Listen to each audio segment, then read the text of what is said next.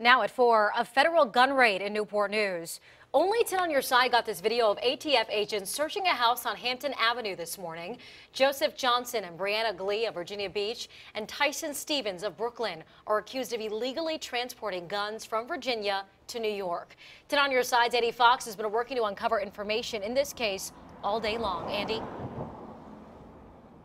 Yeah, Laura, I just got off the phone with a U.S. attorney who confirms that none of those arrested were arrested at this house. They were arrested at other locations. We have been here since the morning. This is what we saw. We were here when the ATF went in around 9:15 this morning, led by New York office, supported by Virginia ATF and Newport News Police. Law enforcement confirms the feds on the ground were executing a search warrant for a suspected gun trafficking ring investigation.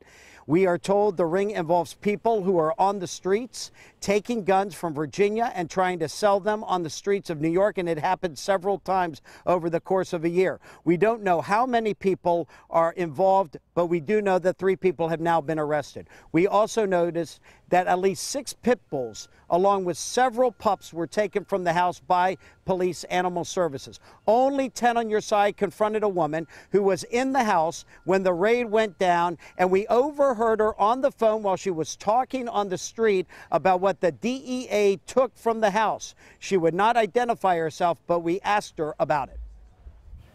Can you What tell me what they even- did? Can you can you tell me about the ammo receipts and the gun receipts? What else did they take? Did they take those? You were listening to my convo? But can you tell me why they took the receipts and why they took the tax paper, No, I can't tell you that. I'm so sorry. Can you tell me about no comment Misa? at this moment. So no comment from her. Coming up tonight on Wavy News 10 at 5 and 6, more on what people around here think about what was going on in that house, what they say has been going on in that house. And we will also talk with the people who were in the house. You've just heard from one about exactly what happened when the feds came knocking on the door this morning. In Newport News, Andy Fox, 10 on your side.